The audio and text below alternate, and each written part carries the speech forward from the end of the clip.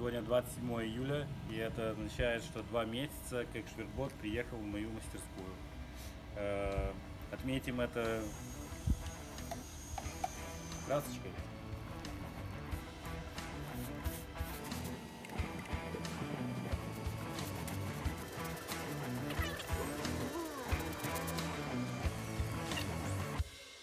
А на днях мы отправились на экскурсию по Днестру из Маяк в Беляевку. Всем привет! Мы долго э, выбирали место отплытия нашего швербота. В общем, отплытие будет в Беляевке. Сначала будем плыть по Турунчику, выйдем на Днестр, по Днестру спустимся до Белгород-Лесовского лимана и, в общем-то, там, если все будет хорошо, то море. Во время этой поездки оказалось, что на Днестре и Турунчике у нас есть очень много знакомых. И это означает, что мы можем спустить свой швербот не только в Беляевке, но и в Яськах, Троицком и Градыницах. Также во время этого путешествия по Днестру нам повезло с экскурсоводом.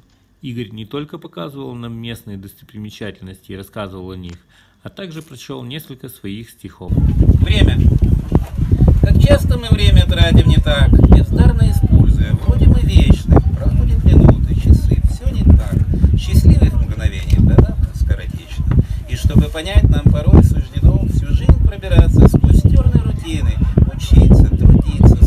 стремиться, но не дано, как время безжалостно строит руины.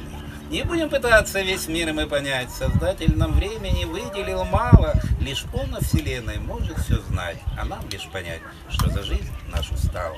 Давайте же мы это время беречь, оно нам дано как мгновение, успеть насладиться, влюбиться и сжечь, весь перечень чувств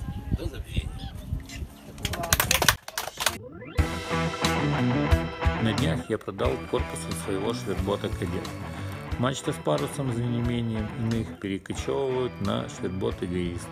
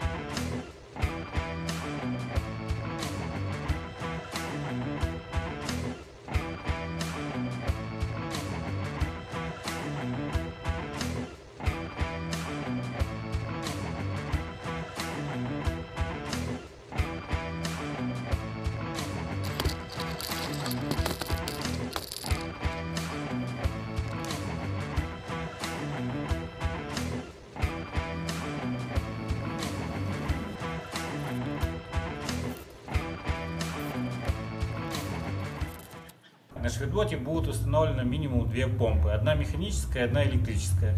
Одна из двух уже пришла. Скорее всего электрическая по размеру посылки.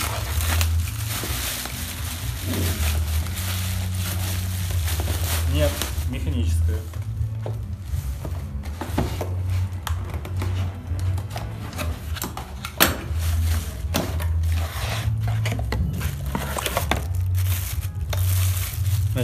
Как она устроена? Э, У нее есть, э, есть у нее вход и выход и ручка. Она будет установлена в кокпите. Вы сидите в кокпите, и она у вас вот здесь, и вы поступательными движениями откачиваете воду, которая набралась в кокпит или воду. Вот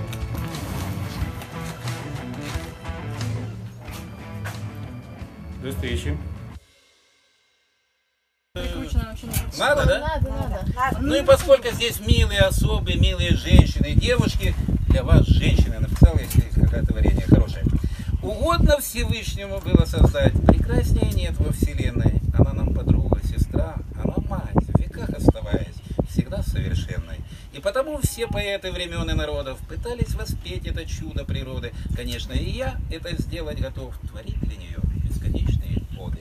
Ее я всегда хочу созерцать, округлые плечи и нежную стать. И, видимо, это нельзя отрицать. Такую создала природушка мать. Она улыбнется, и в сердце пожар.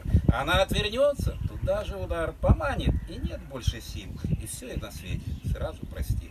Когда же проснется она для меня, прекрасная радуга после дождя, и прямо посмотрит мне в очи, в душе наступает рассвет после ночи.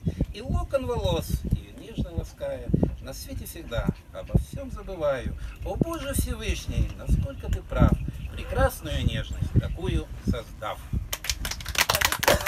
Нормально? Всё.